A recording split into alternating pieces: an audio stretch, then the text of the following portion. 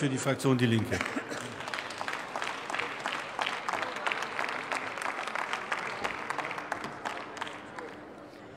Herr Präsident, Kolleginnen und Kollegen!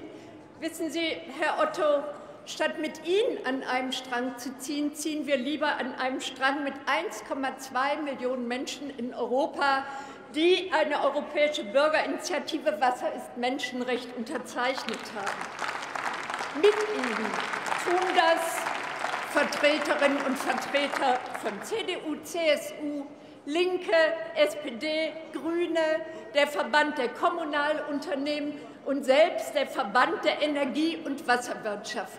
Sie alle wollen die Richtlinie nicht, erklären das. Sie erklären, sie brauchen sie nicht. Nur Sie, ganz alleine Sie, Herr Rösler, mit Ihnen, mit ihm Sie, Herr Otto, machen das Gegenteil in Brüssel in der Regierungspolitik und sorgen für die Zustimmung. Da würde ich sagen, umgekehrt wird ein Schuh draus ziehen. Äh, stellen Sie sich hinter diese Front. Aber Sie, Kollege Lange, muss ich auch fragen, Sie sind ja nicht nur Parlamentarier, er ist leider nicht mehr da. Die CDU stellt, glaube ich, die Regierung. Und die Frage ist schon, wie geht es, dass Sie auf Ihrem Parteitag, auf dem CDU-Parteitag, eindeutige Beschlüsse gegen die Konzessionsrichtlinie fassen und tatenlos zusehen, wie Herr Rösler eine andere Politik macht. Es geht, es geht hier nicht um Peanuts. Es geht auch nicht einfach um die Klarstellung der Rechtsverhältnisse, Herr Otto.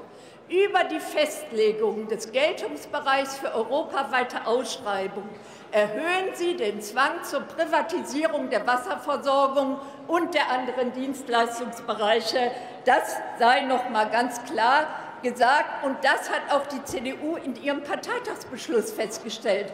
Herr Lange, Sie erklären das hier für populistisch. Ist Ihr Parteitagsbeschluss der CDU, ist der jetzt populistisch, nur weil wir dasselbe hier heute sagen? Der Zugang zu Wasser ist Menschenrecht, das haben Sie auch gesagt, und Wasser muss Kernbereich der Daseinsvorsorge werden. Und wir alle wissen, Herr Otto, im Gegensatz scheinbar zu Ihnen, was passiert, wenn es privatisiert wird. Die Qualität des Wassers wird schlechter, die Preise werden höher und die Beschäftigten werden entlassen. Das ist ja auch kein Wunder. Ein privater Versorger will eben Gewinn damit machen und Gewinn garantieren werden oft vertraglich vereinbart. Es gibt das Beispiel Großbritannien, es gibt das Beispiel Paris, es gibt das Beispiel aber auch Berlin. So weit weg ist das gar nicht, dass wir nicht diese Erfahrung gemacht hätten. Deshalb wollen die Menschen zu Recht diese Privatisierung nicht. Und da helfen auch keine Einschränkungen im Geltungsbereich. Die Frage ist nicht, ob mehr oder weniger Stadtwerke zur, zur Privatisierung gedrängt werden. Es darf überhaupt keine Privatisierung geben. Im Gegenteil, Kommunen, die die Wasserversorgung bereits privatisiert haben, müssen dabei unterstützt werden, sie in kommunale Hand zurückzuholen. Das Gegenteil ist bei Ihnen der Fall. Wir möchten auf einen Punkt noch hinweisen, dass auch die Ausnahme der Wasserversorgung aus dem Geltungsbereich zwar ein Fortschritt wäre, aber nicht ausreicht.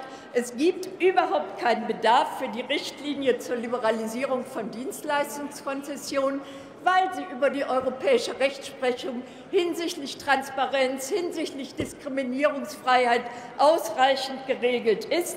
Da gibt es gar keinen Bedarf. Die Kollegen der SPD weisen zu Recht in ihrem Antrag auch darauf hin, dass da auch Verträge der Kommunen mit Gesundheitsdiensten und Krankenhäusern beispielsweise betroffen wären.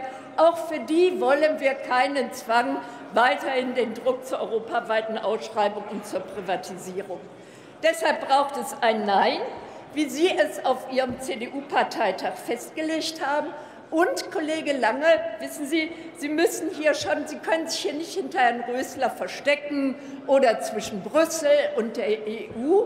Sie müssen heute in der Abstimmung Farbe bekennen, ob Sie weiterhin ehrlich dagegen sind oder ob Sie sozusagen sich nur hinter Herrn Rösler verstecken und aber Ihre Position dann nicht ehrlich ist in der CDU.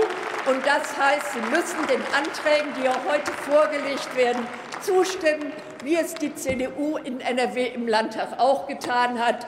Folgen Sie diesem Beispiel, dann wird ein Schuh draus. Das ist dann ehrlich. Alles andere ist unehrlich und verlogen. Danke. Letzter Redner in dieser Debatte ist Kollege